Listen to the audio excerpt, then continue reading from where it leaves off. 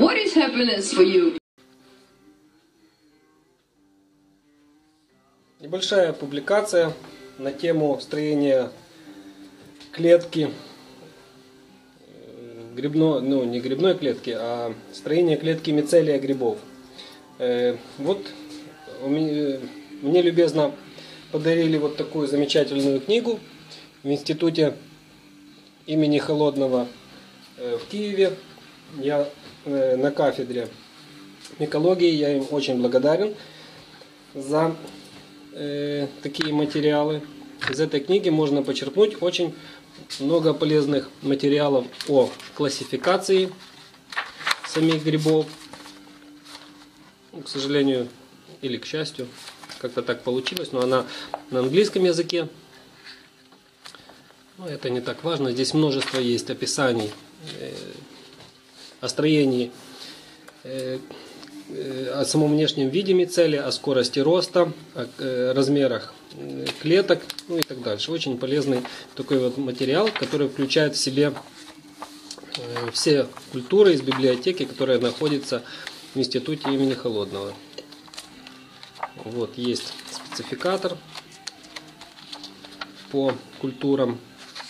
И вот здесь есть очень такие замечательные разного рода электронные фотографии. Вот, к примеру, как вот такие очень большие э, фотографии образования клеток. Очень полезная книга. Но мы давайте остановимся все-таки на строении клетки мицелия вешенки. Нас он будет э, в промышленном плане больше интересовать. И вот мы сейчас посмотрим, как устроена эта клетка. Вот, мы останавливаемся вот на такой странице. И здесь давайте посмотрим, что мы здесь будем видеть. Вот я хотел бы побеседовать относительно вот этой фотографии. Возможно, такие материалы вы сможете найти и в интернете. Публикации строении клетки, но э, такая фотография, просто ее внешний вид вам вряд ли будет чем-то полезен. Я попробую объяснить, что мы здесь сейчас увидим. Вот то все на- нагромождение материала, который сейчас вот видим на картинке. Э, Это, как мы понимаем, множество, ну, строение самой клетки, и видно, что здесь есть множество разного рода органелл, какие-то питательные вещества и многое другое, что там необходимо быть в клетке. Здесь мы остановимся на тех моментах, что любой понимает, что это есть клеточная стенка, клеточная мембрана. И посередине, вот то, что мы здесь происходим, это понятным образом, что мы видим вот эту ме- мембрану между двумя, двумя мицеллярными клетками. Очень интересный вот этот момент. Здесь понятно, что вот одна часть, с одной стороны э, мембрана, с другой стороны между ними находится какой-то канал. Это дает нам понимание, что между этими клетками идет, можно сказать, вот это общение, которое э, детерминирует, вот то, что я постоянно об этом рассказываю, которое детерминирует те моменты, что некоторые э, свойства э, грибов и свойства мицелия не совсем понятны, но э, вот тут немножко дается такое понимание, что между этими клетками проходит общение, это что-то напоминает общение или взаимодействие клеток нервной системы у человека. Удивительный такой вот момент. То есть мы уже понимаем, что эти две клетки не существуют отдельно одна от другой, они взаимосвязаны. На этом может и базируется странное поведение мицелия именно э, шиитаки, который имеет два разных вида роста. В процессе колонизации это очень быстрый такой мицелий с длинными и большими клетками. В процессе уже колонизирования, когда э, материал колонизирован, он меняет структуру, свойства своего роста, и мы можем видеть совсем другой вид роста. Вот здесь понимаем, что взаимосвязь между этими клетками определяет понимание того, где он находится. И вот здесь сложная такая система вот этого клапана, вот две такие, ну, грубо назовем их такие две пробочки, которые вот тоже напоминают вроде как гриб. Здесь э, срез прошел ровно посередине, и видим, что это ну, просто такой напросто клапан, который может туда внедряться или пропускать какое-то количество того, чего будет необходимо там, другой клетке.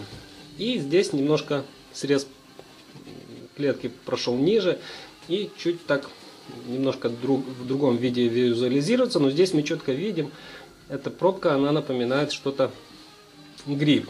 И две такие, вот этот сам канал, в котором происходит обмен. И еще очень понятным визуализируется так четко вот такое округлое явление. Это явление является ядром вот этой клетки. И четко видно два вот таких ядра уже в самой клетке. Это генетический материал. То есть можно сделать вывод, что эта клетка находится в дикариотном состоянии. То есть в одном ядре находится два ядрышка с генетическим материалом. То есть потенциально в дальнейшем это ядро будет разделяться снова надвое. И эта клетка будет делиться, продолжая таким образом рост мицелия.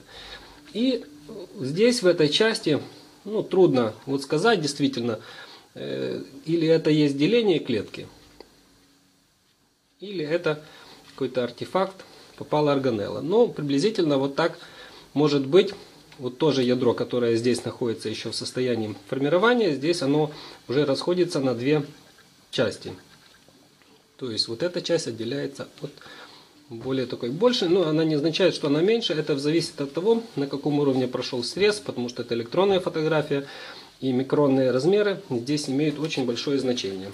И для примера я еще продемонстрирую несколько фотографий которые сделаны у меня в лаборатории. Здесь я пробовал дать некоторые объяснения того, что здесь происходит. Здесь немножко меньше увеличения, и можно видеть очень такую э, длинный такой гиф, можно сказать, клетки. И вот все-таки видно на этой фотографии, что вот есть ядрышки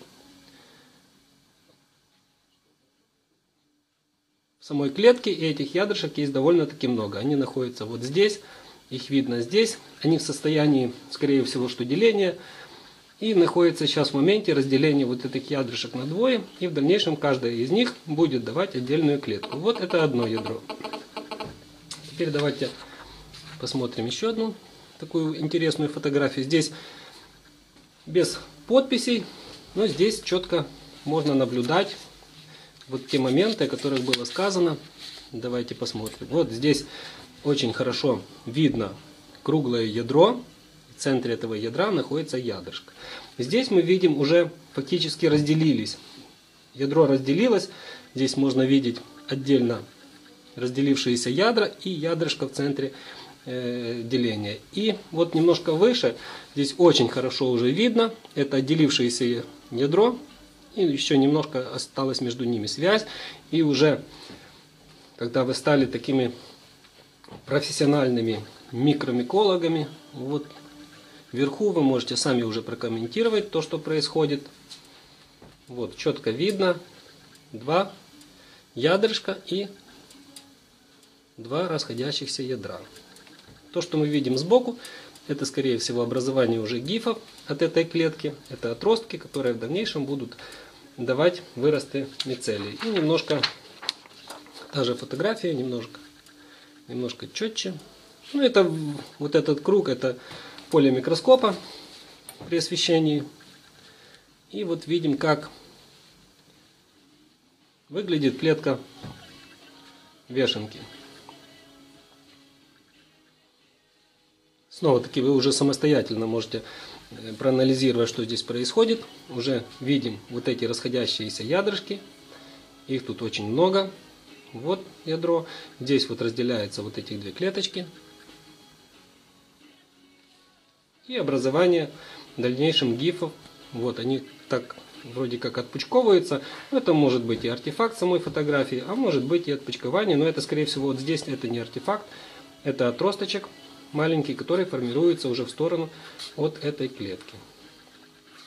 Вот для дальнейшего производства мицелия нужно все-таки понимать тот организм, с которым вы будете в дальнейшем работать, и нужно все-таки э, понимать те процессы не только на уровне технического исполнения, а на уровне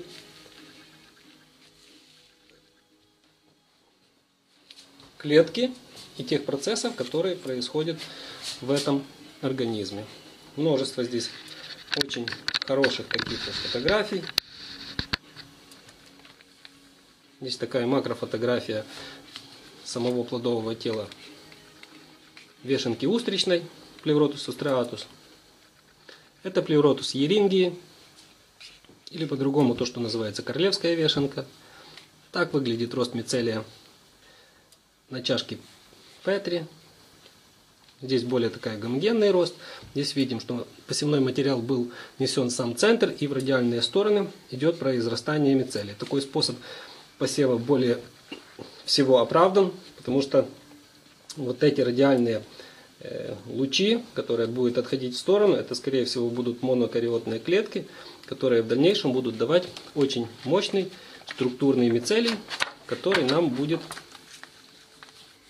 необходим для дальнейших пассажей и изготовления уже рабочих культур. Давайте посмотрим, что здесь еще есть интересного. Вот есть такие вот интересные фотографии. Попробуем понять, что здесь нарисовано, это скорее всего образование гиф. Здесь вот строение самих клеток. Довольно-таки качественные электронные фотографии здесь сделаны. Вообще видов э, самой вешенки есть очень огромное количество, но так получилось, что более практичным и самым простым культивации все-таки стала вешенка устричная. И в основном занимаются промышленным выращиванием вешенки устричной. Вот таким материалом я хотел с вами поделиться.